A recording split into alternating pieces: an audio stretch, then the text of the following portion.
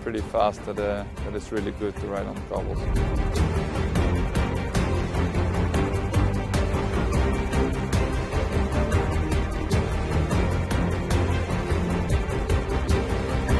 less of the stone uh, coming into your body, so uh, it saves more energy.